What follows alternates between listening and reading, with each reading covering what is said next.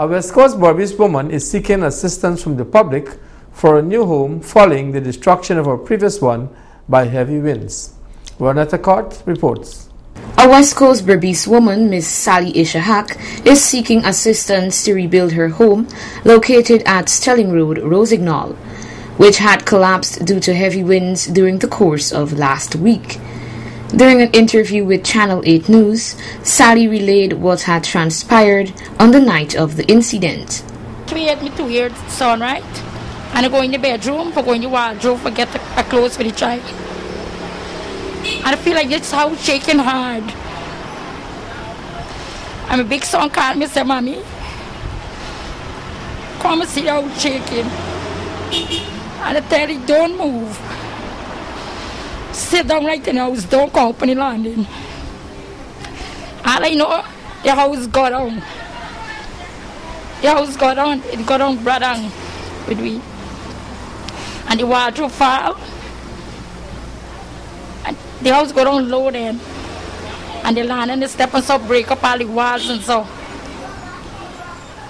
And then all I get myself, people in the house, they run to my rescue and the scrambled children. But thank God, nothing happened to the children. Them.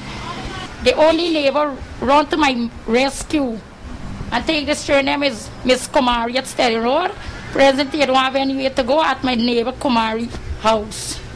She further noted, and the condition for the house is not good at all for my children them. I went in there like three times to the welfare, right? I even leave my husband and I went away. And he come and he begged me. Right? His work for early morning, carrot and give me mother. Even the father too, the father went at sea. When he come in, he spent seven days. When he come in, he said whole week he work with three thousand dollars. He bring the three thousand dollars and he give me two thousand dollars in the morning. Right? He bring the two thousand, say buy two thousand dollars, mind the street rent. He start cussing up. I said buy you wouldn't come to this Miss Kumari and sympathize with her and tell she thanks for everything, right? He said, Sally, but you know, you don't know why you're going through.